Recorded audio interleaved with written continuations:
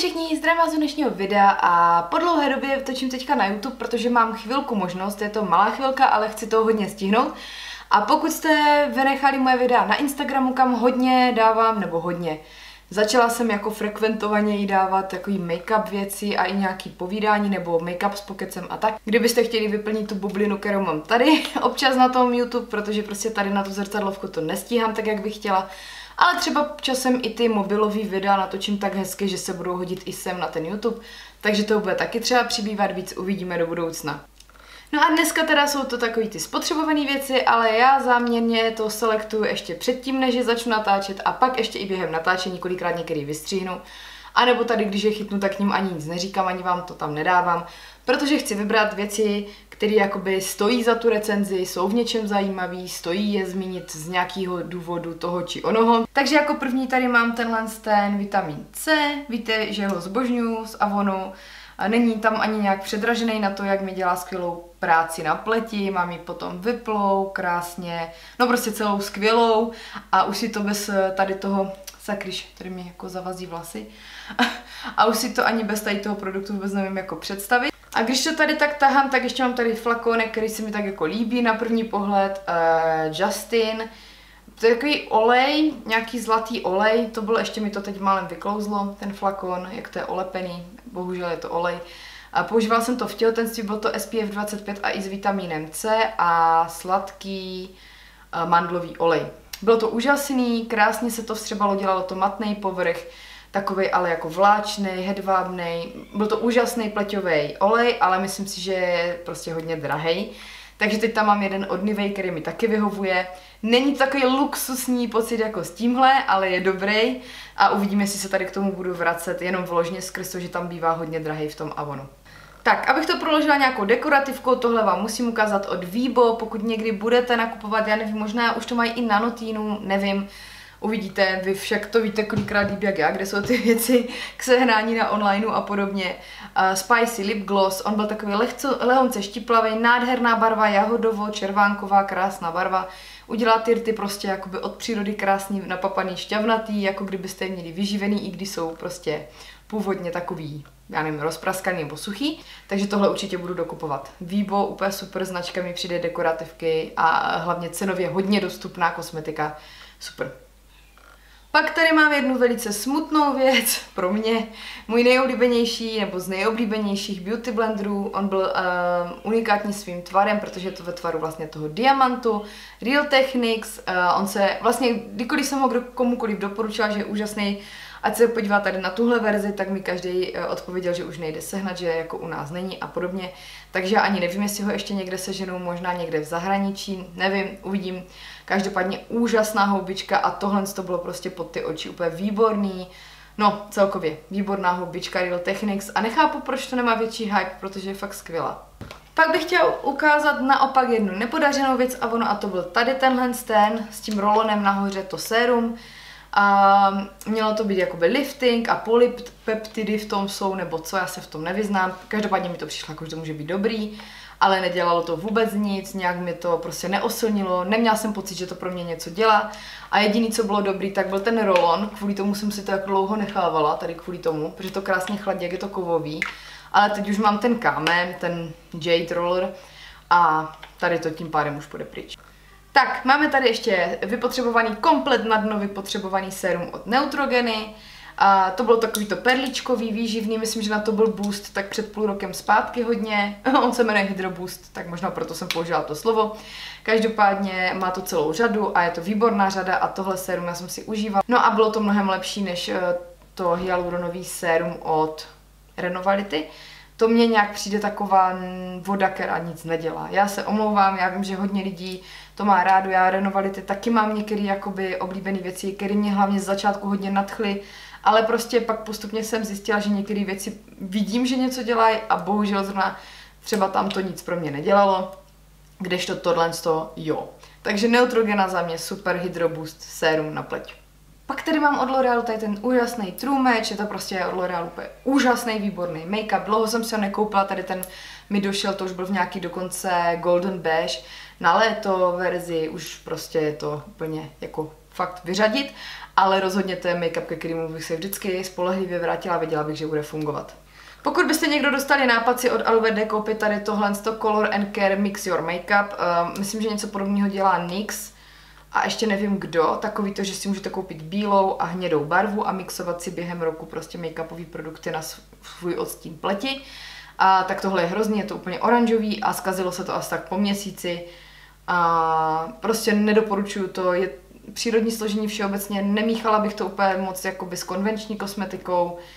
Nevím, je to takový, mm, tohle byly fakt vyloženě vyhozený prostě peníze a tady to jsou právě věci, kvůli kterým já jsem postupně přestala uh, tu přírodní kosmetiku jako zkoušet a furt všechno hypovat a nakupovat a, a tohle jdu prostě po věcech, které na mě fungují.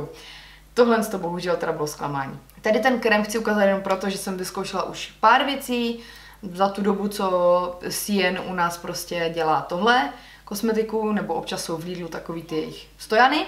A tohle to bylo Hydro Expert, bylo to strašně podobný právě té neutrogeně, i v tomu jakoby gelovému krému, co má k tomu ta neutrogena. Byl to aquagel, krásně to vonilo, mělo to gelový složení a dělalo to vlastně úplně podobnou funkci, jak věci tady z té řady. Takže za sebe jako rozhodně můžu říct, že pokud natrefíte na CN a budete to zkoušet jenom proto, že to je Lidl, tak já jsem od nich fakt zkoušela víc věcí a jsou to zrovna věci, které vždycky dopoužívám. Takže není to jako nějaký jako super čuper terno, že bych se tady rozplynula, ale je to úplně v pohodě funkční kosmetika a vůbec není čeho se bát, je to prostě fajn. Tak a máme tady zase dekorativku, můj oblíbený benefit. Ano, oblíbený benefit, říkám to tak, jak to je. prostě přijde mi to lepší, než jako dělat, hm, já nevím, ne, prostě je dobrý, je oblíbený a jako všechno od nich mi téměř jako fakt super sedí. A Loreleška je právě ta jediná výjimka asi, nebo z jediných mála výjimek. A mám prostě, můj Bad Gal Bank je úplně topka od eh, Benefitu z řasenek a Loreleška je topka mý kamarádky. A to říkám jenom proto, že vím, že spoustě lidí sedí, ale mě bohužel zrovna tahle řasenka nějak extra prostě nesedí, je vypotřebovaná, já zase nejsem takový typ, že bych to jako zkusila, bylo to blbý a to. A zároveň, když už jsem ji zkusila a otevřela, tak ji nechci posílat někomu dál, takže jsem ji vypotřebovala, ale prostě Bad Gal Bank je moje, moje láska, no. Už tady dodělal a to tím, že uh, už časem, já už to tady mám snad třeba čtvrtý rok možná, jo, možná třetí, deodorant stick, 100% přírodní Crystal Stone a bylo to od uh, BioAromy a to je úžasná věc, to právě chci vychválit, proto to tady ukazuju. Krystalů je milion druhů. Já asi zkusím teďka koupit nějaký v DMku, protože jsem viděla, že už to tam taky jako běžně je, ale musím říct, že tohle to a úžasně voní, je to jemná, krásná vůně a když se s tím ráno prostě napatla, musíte to teda jakoby studenou vodou omít, natřít se a zase umít a schovat. A když se s tím prostě ošetřím, tak prostě fakt to funguje. To je prostě fakt jako deodorant, jakože deodorant. Nejenom, že máte přírodní věc a máte dobrý pocit, ale furt se potíte a smrdíte si a nevím co, tak tohle je fakt taková ta funkční přírodní věc, ta dobrá přírodní věc. A od BioAromy, krom ještě olejčku na odličování a olejčku proti komárům, celkem musím říct, že je napříč jako BioAroma má dobrý věci. Takhle zpětně, když si to vybavuju, co všechno od nich ještě mám nebo jsem používala. Takže rozhodně Deostick, pokud eh, vám neseděly krystaly třeba v minulosti, tak zkuste tenhle. Fakt, zkuste ho. Tak, jak jsme byli u Bank, tak tady vidíte důkaz místo slibu. Myslím, že ještě dvě takový někde se povalují po kabelkách nebo kosmetických taštičkách, který si různě vozím do auta a tak. Takže vidíte, že prostě Bank je moje láska. Jsou to sice ty malí, oni vydrží fakt dlouho, a dva, tři měsíce vám dají, když to fakt používáte intenzivně. A e, tím, že jsou malí, tak já si je právě ráda vozím a různě vždycky třeba jsou v L, tam bývá teda ještě ta menší verze než tohle, nebo si kupuju miniaturu v Sephoře, když tam dělám objednávku a podobně. Teďka byla akce dokonce, že byla velká a malá za dobrou cenu, jakoby spolu, takže prostě Bad Gal Bank jako já hodně můžu. tak, projedu tady Maybellineácký produkty a to jenom proto, kdybyste teprve začínali třeba někdo z vás s drogerkou, nebo jste to neskoušeli a chtěli vědět, tak vám k tomu už teďka můžu zpětně takhle říct eh, k širšímu sortimentu. Tenhle ten produkt tady ukazuju z toho důvodu, že uh, jsem z něho nebyla nikdy nadšená od žádné značky. Vždycky jsem zkoušela, já jsem i od Catrice a nevím od koho všeho. A až teďka, když jsem zkusila ten od Benefitu, ke kterým už jsem byla jako skeptická, že to zase bude to samý, tak ten funguje a ten je dobrý. Takže uh, za sebe, um, pokud chcete tenhle typ produktu, tak bych pořád ještě doporučila jít po tom dražším, ne po tom drogerkovým tomhle od Maybelline. Není to špatný, ale prostě mě to jako vydrželo na strašně málo použití, protože pak už to nechtělo malovat vůbec, i když jsem to skladovala takhle, otírala ty hroty a podobně. Tak, tuška, uh, krásná linka černá, skvěle se s tím malovalo, jak to bylo ohnutý, krásná, já jsem u Maybellinu zvyklá na kvalitní černý, fungující, úplně bezchybný linky, které se nemažou, krásně malujou, mají dobrý hrot, jsou úplně černý, jsou matný, bla bla, takže tahle patřila k ním, taková ta ohnutá, ona už nemá nápis, jak jsem ji používala. Výborná linka.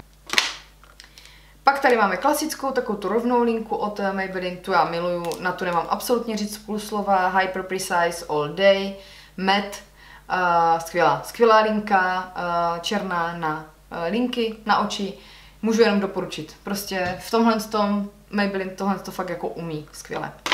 Tak, pak tady mám Master Precise, zase další linka, Liquid Eyeliner, uh, ta asi, já nevím, jestli k ní mám co říct. Ta prostě malovala taky výborně, taky černě, taky dobře.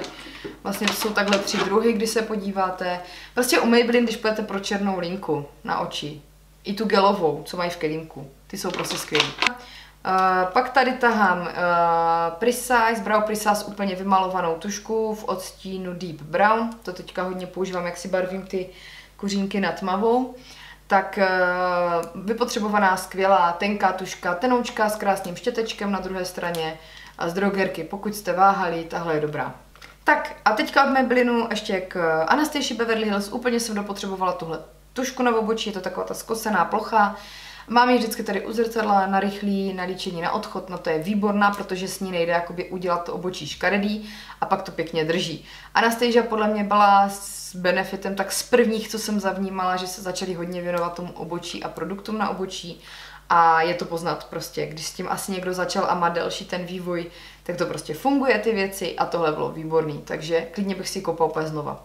Pokud byste někdo objednávali na Beautylish nebo Beauty Bay, No prostě tam, kde je tady ta značka, Las Plush, mají tam asi 20 druhů barev tady těch třpitek v lince. Tak upozorňuji nebrat, je to nádherný, je to krásný, dokonce i když to dojde domů, protože to vypadá jak diamant a právě tam vidíte tu barvu těch třpitek na tom zadečku. Um, štěteček, to mi ani nevadilo, že byl hnedka rozfrcaný, tak jsem to ostříhala, ale eh, štípalo to kolem očí, když jsem to dávala.